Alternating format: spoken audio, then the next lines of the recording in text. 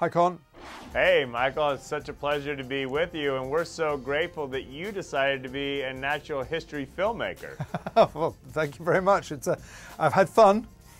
Well, I'm just curious, how did you get so patient to wait for those magical moments?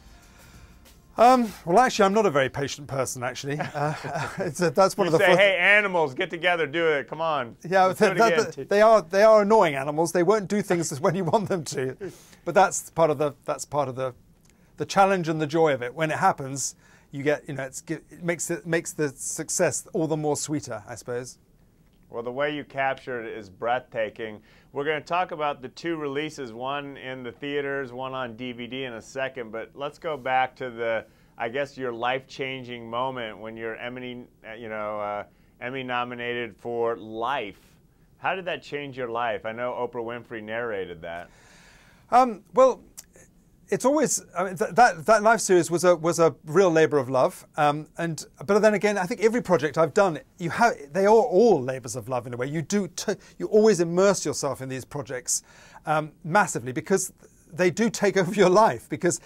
Every single um, trip you go on is like is setting up an expedition. You know, they are the logistics of them is enormous. So, um, every time every time you do one, you think to yourself, well, this is going to be the one. This is the one that I'm going to really throw everything at. And when you eventually sometimes get um, it gets recognised by the people like the Emmys, then it's a great it's a great moment actually. But that's only part of it. The, the reward of it actually is really to show people and for the for the audiences to feedback. The best the best result is when the audiences say, "I saw that, and I look at nature in a different way completely from how I saw nature before I saw your show or your film." Well, let's talk about the theatrical release. Daniel Craig is narrating this one. It's called One Life, but take us behind the scenes.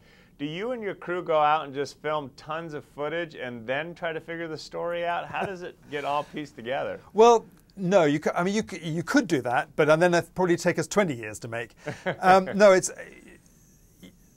We had a very clear idea about the stories that we wanted to tell. I mean, when you, one of the things, as I was saying, you know, trying to look for an, animal stories and, and, animal characters that the audience would connect connect with. So there's a, there's quite a strong filter already in place that you want stories that are new, people haven't seen them before. You want stories that are going to be dramatic and and easy to understand, and you don't have to narrate too much. You know, you can see what's happening just from the pictures. And so you know, when we started off this, we spent you know months and months researching it to try and find, find the best stories we can, and then you very much go with a very specific story in mind that you want to tell.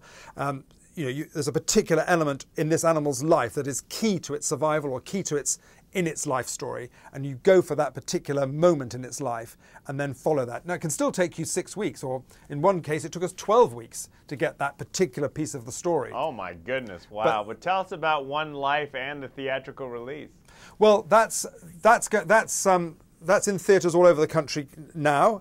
Um, the I mean, it's it's a it's a wonderful thing to be able to do something in in a, in a theatre. It's a, it's a, it's another opportunity to bring an audience to see to see the nature in in all its glory. And the, and the story is to follow, as I say, animals across their lives, across their life cycle, to to try and get an insight into all the trials and tribulations they face. And what I'm really hoping is that, because I feel it, is that you'll see in their lives some reflection of your own life. You know, you, you watch it and you think to yourself, I know exactly how you feel there. You know, when a, there's a lovely story where the little frog, one of my favorites, little tiny frog, she's about the size of your thumbnail, and she, um, she's heroic. She, she looks at, she takes her little uh, tadpoles and lay, puts them in these little pools up in the, right at the top of these trees. It's like climbing the Empire State Building if it was us. And she has to, she, not only does she put them there, but she every day she goes and feeds them without, without fail. And it's this incredible effort. And at the end, the little baby grows into, from a tadpole into a little frog and then kind of hops off and has its life without so much as thank you, mum. And of course, no frog would ever say thank you. But as a viewer, you think to yourself, and especially if you're a parent, I know exactly how you feel. That's what my life is.